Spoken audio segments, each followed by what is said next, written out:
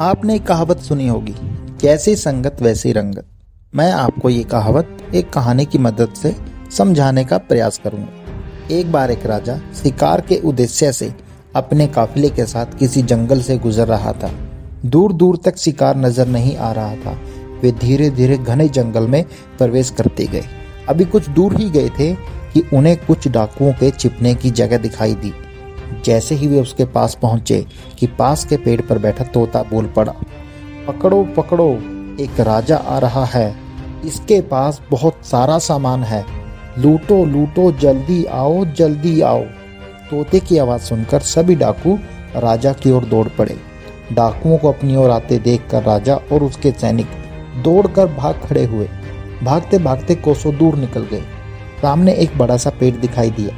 कुछ देर सुस्ताने के बाद उस पेड़ के पास चले गए। जैसे ही पेड़ के पास पहुँचे, उस पेड़ पर बैठा तोता बोल पड़ा, आओ राजन, हमारे साधु महात्मा की कुटी में आपका स्वागत है।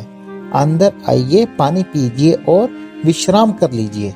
तोते की इस बात को सुनकर राजा हैरत में पड़ गया और सोचने लगा कि एक ही जाति के दो प्राणियों का व्यवहार इतना अलग कैसे हो सकता है। राजा को कुछ समझ नहीं आ रहा था। वह तोते की बात मानकर अंदर साधु की कुटिया में चला गया।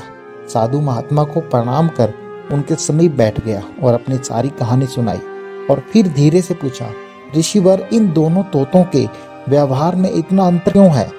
साधु महात्मा धैर्य से सारी बातें सुनी और बोले, ये कुछ नहीं राजन, बस संगति का असर है।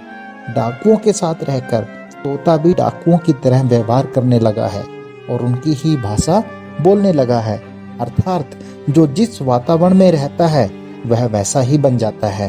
कहने का मतलब है कि मूर्ख भी विद्वानों के साथ रहकर विद्वान बन जाता है और अगर विद्वान मूर्खों की संगत में रहता है तो उसके अंदर भी मूर्खता आ जाती है। इसलिए हमें अपनी संगति सोच समझकर चुननी चाहिए। धन्यवाद।